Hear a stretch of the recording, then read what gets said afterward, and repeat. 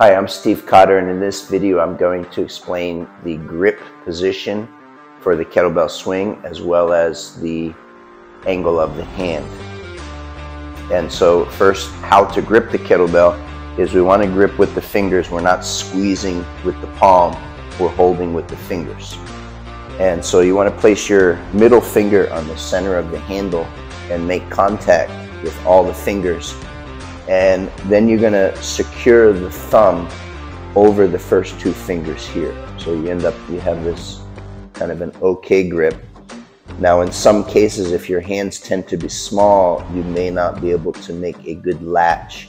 And so alternatively, you can bring your thumb behind as another option. And a third option is you can place your thumb on top. So these are all acceptable this would be the ideal, but for smaller hands, you take one of the variations. And now the hand position when you're doing the swing, there's basically three main positions. We have a neutral where your palm is facing down, or you have the option of rotating with your thumb facing up and forward, or you have an option of rotating your thumb down with the thumb facing down and back.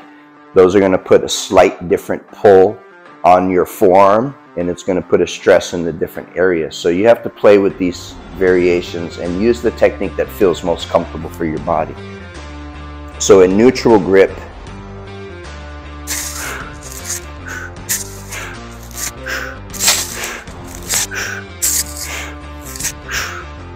And then the thumb forward grip is here. It's going to put more loading on the brachioradialis.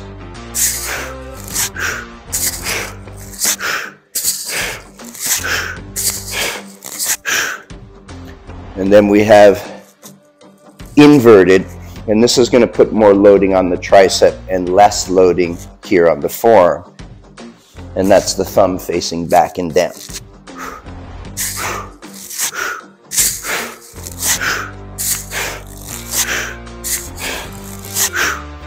Now these grips will also apply to the clean and to the snatch which use a swinging mechanism. So this is how you position your hand and the angle so that you can perfect the kettlebell swing.